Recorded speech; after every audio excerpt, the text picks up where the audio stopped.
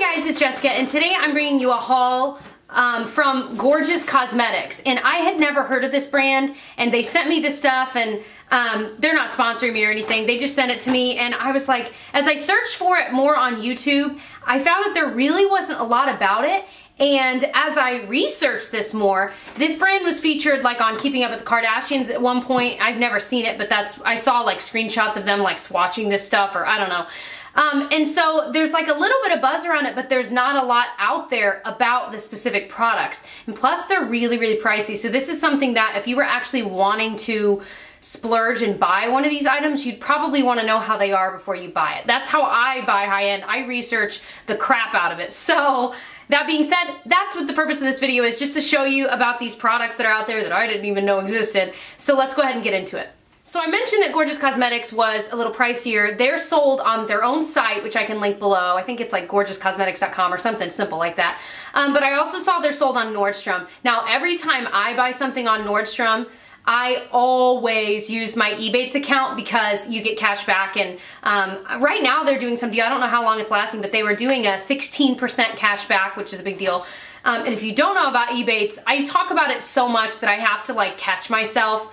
Um, but it's amazing. You just sign up and you get cash back on things you were gonna buy anyway online. It's, it's really simple. They walk you through it, but I can leave my link below. It is a referral link, um, but it's amazing. Anyway, so that's where it's sold. The first thing I want to show you is I think one of their most famous products and it is their eight pan palette in their Ever Metallic shades. So there are eight humongous eyeshadows in this palette and the palette is really I think when you look at it, it doesn't look that well made. I don't know. I mean, I, li I like the packaging, but if you actually hold it, it's really hefty and you can tell it's well made. So I think that's what surprised me first and foremost. But these pans are actually humongous. Let me see if I've got like a MAC shadow to compare it to. Here we go. So this is a MAC shadow compared to these. The MAC shadow, I mean, it's still a decent size, but these are absolutely huge.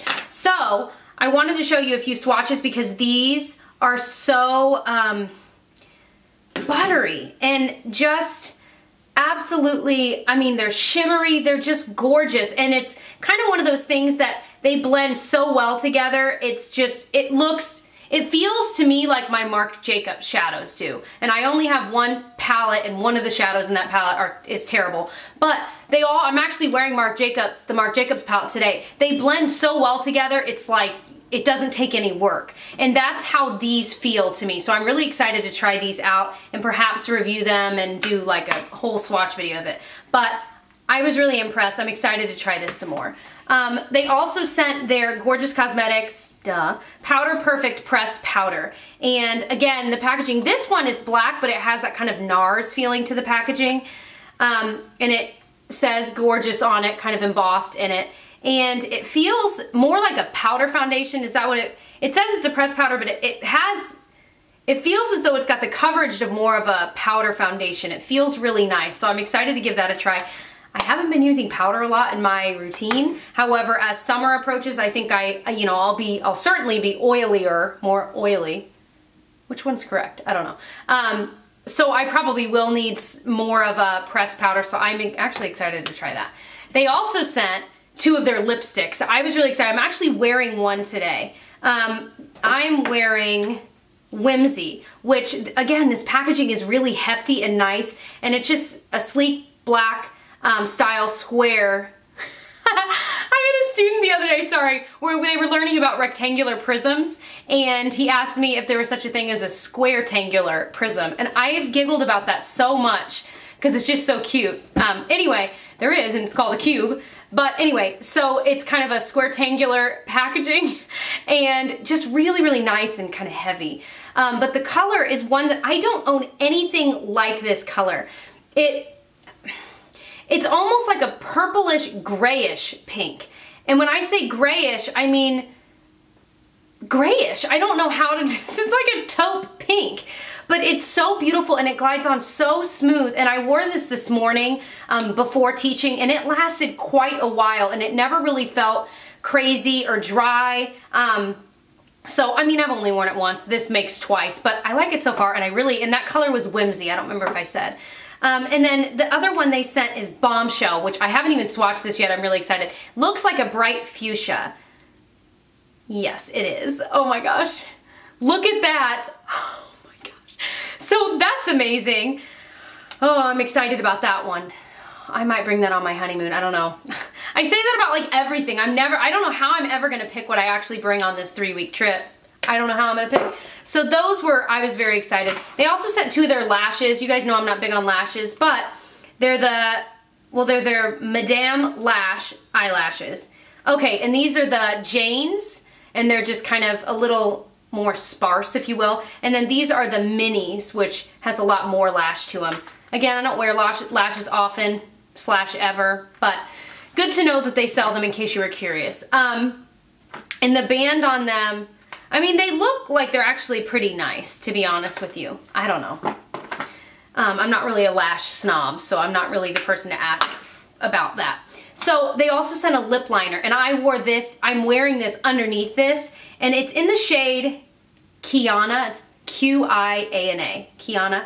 Um, and it's their lip pencil. And I actually lined and then filled in my lips. And I love the color of this because it's kind of like a light peachy color. I have it right in between those. Like a, I don't, again, it's like a nude, but it's again almost more gray-like. I just love that. So I was very excited. And this is very creamy and so far it hasn't moved outside my lip line. I don't know. I haven't worn it long enough. But again, anything you want reviews on, let me know below the ones you're kind of the most interested in. So they also sent, oh, apparently this is another one of their best sellers. This is their Base Perfect Liquid Foundation. I love the packaging. I love the way the pump looks. I haven't used it yet. I haven't swatched it yet. Would it be called a swatch with foundation? I guess. But um, it just, everything feels so well made, which it should be because it's expensive. I just can't believe I've never heard of this brand. Come on. Um, they sent me the shade while I'm doing this. Um, one NB BP. I don't know. Come on. Whoa. Okay, so here's the color. Actually might be a good, feels very liquidy, although that was the very first pump ever out of it, so I don't really know. um, but it, it, certainly covers, um, might be a little too dark on me, I don't know, but um, it feel, it already, okay, so I just blended it in with my hand. It already feels like soft. It doesn't feel tacky at all. Like some of my favorite foundations, I have to admit, are really tacky and I have to set them with like a, a loose powder before I can even put like blush and bronzer on. But this one instantly feels like soft like a baby's bottom. I'm not even kidding you. So that's pretty cool. Um, excited to try that tomorrow on my face. So that was exciting to get and to try. Um, they also sent a few like random things and then they also sent like a whole kit. I'm gonna show you the kit that they sent at the end. So they also sent some of their like shimmer dusts. Um, they sent two shades of their shimmer dust. There's sand shimmer and this one looks, well, I don't know. It looks kind of like a peachy gold shimmer. Yeah. So it's right there. Oh, that looks really pretty. That looks like Stila Kitten to me. Um, and then they also sent suede um, let me get some of this. This one looks a little darker. Oh, it's just a little more cool toned, I think. It's not darker at all. Um, gosh, or no, it's a little more pink toned. That's what it is. So suede is underneath. Can you guys see? I don't know. They're all blending together. So that is suede and that is sand shimmer. Really, really pretty. Um, like really pretty. You're like really pretty. Like really pretty. Oh, so you agree. You think you're pretty. Thumbs up if you know what movie that's from. Okay, so those were those sand shimmers. There didn't seem to be like crazy fallout or anything like that, but for me, I would apply it with my finger if I were you. Um, and so then the, they also sent a color flash in opal, and I think this is supposed to be a glitter, so I'll be careful. It looks like a kind of darker, yeah, it's like a deeper colored glitter. Pretty cool. Now I do know they sent this, what is it called? Glitz Fix, and I think this is supposed to be like a glitter glue type primer, maybe you put it, yeah. So you, you would put this down, it's just clear, you can't see it, and then you put the glitter on top of it. Yeah, and it doesn't move. Um, so that is nice. I have some, like an e.l.f. glitter primer, but I don't use glitter all that often, so I haven't really tried it. But that I like the format of this, that it's not a squeezy tube that you can kind of brush it on um, with the doe foot applicator. So that is pretty cool. Um, and it, I think that really is having some sort of glitter primer or glitter glue like that. It really is an essential in a makeup collection, at least having one. Like I said, e.l.f. sells one too um, for a couple bucks on their website. Okay, so moving forward, they also sent a liner. This is their eyeliner pen. It's called I-Line, like the letter I. Um, and it, I'm pretty sure it's in black. So it's a felt tip applicator. Oh, it's instantly really, really black. Wow. Um, I will say I'm noticing right away that it's the first initial one is bleeding. No, they both are they are bleeding outside of their little line. So that, I mean, to me, that really is a big deal because when I am lining, especially with something like this, I want it to be very precise. So when it's bleeding out even a little bit, I mean, it can make everything look so sloppy. Now, of course, that was the very first time I've ever done it. So I don't know, but I don't know. Most liners I have don't do that. I'm just saying. So I, I don't know if that one would be worth the splurge. And again, it might get better after a few uses after it kind of dries a bit, but I would say maybe spend your money elsewhere. They also sent another liner, but this one's a pencil one. It's called their Eye Ink, eye again, liquid eye pencil in carbon black. I'm trying to get it like a few different, so that's, you know, a couple back and forths. That's just one. It, it's not the blackest line I've ever seen. It, it is like, especially up close, it is a little more gray. Do I think it would be great just to kind of, if you're just using it to tight line? Sure, because if you know you're putting like for me, I put a cream eyeliner on top of it no matter what anyway. So I would still use this, but do I think it's worth the price tag? Probably not. I would say so far everything's been great, but the eyeliners, just from my first impression, I'm not impressed with those. So that is my honest opinion of those. So now going into the kit that they sent, um, it's called their Royal Regalia limited edition palette, I guess. So there's like a palette in there and some lip products it looks like. I'm excited. It's got a lot of purple and the bag is purple and really well made. It says Gorgeous Cosmetics on it. So let's see what's in here. We'll start with the palette. Again, it's got that same symbol, but this is half, yeah, about half the size of the big one I showed you earlier. Um, but just as hefty and, not, ooh.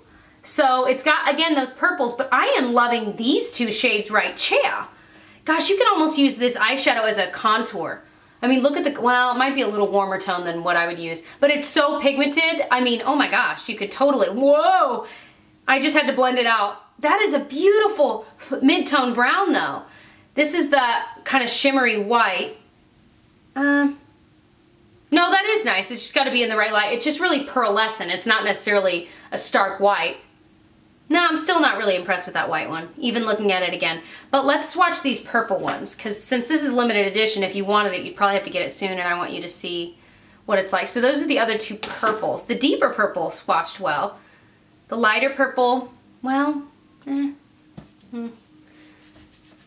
Man, I, I just love that brown shade. The other three I'm not totally in love with. Of course, swatching is very different than actually using with the brush and blending, so these might be amazing. And I will say, some of my favorite palettes are not the most pigmented things in the world. Like the L'Oreal Palette 1 is one of my favorite palettes of all time ever. And honestly, some of my favorite shades aren't very pigmented when you swatch them, but they're amazing on the eyes. So I don't want to judge this one by its cover, and I will say that mid-tone brown is one of the best I've ever swatched in my life.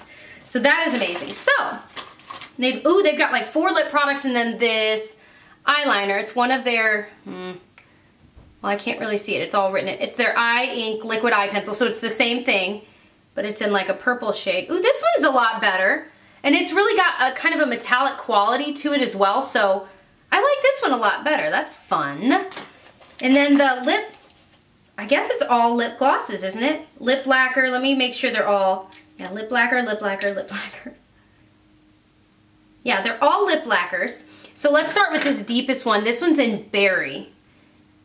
It's got a doe foot applicator. These are the size of a MAC lip gloss, just for reference. They're not like long, they're the size of a MAC lip gloss. So they're kind of like, they almost look like little shortened versions of them. Wow.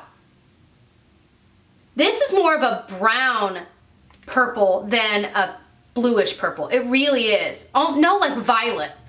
I haven't, honestly, that's rare to see in a lip gloss, so that's interesting. Would I wear it maybe if I dress as Elvira for Halloween, which actually that could be fun. But it is really pigmented, and if you're looking for one this color, I mean, that nice. Does it have a smell? Did I get my nose in it? Oh, I didn't. Okay. Let me see, though. There's literally no smell whatsoever, which is kind of nice. Um, okay, this one looks amazing. This is in the shade Magenta, and it just looks like a beautiful, it almost looks like a coral pink. Yeah, kind of a warm pink color. These are so pigmented, it's crazy. They are called lip lacquers, so their lacquers typically are more like a paint almost, like kind of a cross between a gloss and a paint. Um, so another deeper vampy color is in Plum.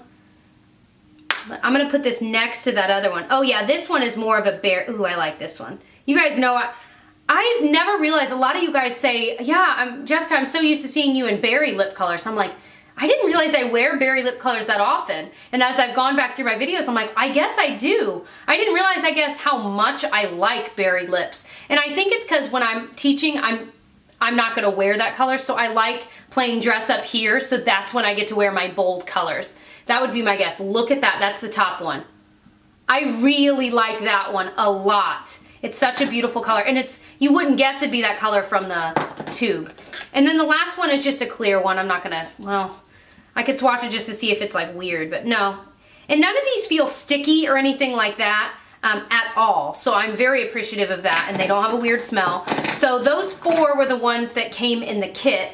So I would say all in all, like if you were actually to place an order or if you're watching this just because you were genuinely searching for gorgeous cosmetics, like what to buy, and you're not necessarily one of my regular subscribers that watches my videos, I would recommend their eyeshadows probably the bigger palettes. And that's the thing about limited edition, they're not always the best quality. I don't want to say that across the board that's true, but that happens a lot.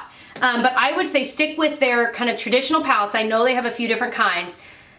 Um, the lipsticks felt really, really nice. So those would be maybe just picking out one color that you know you'd really like because they're really well made and they felt really nice on my lips.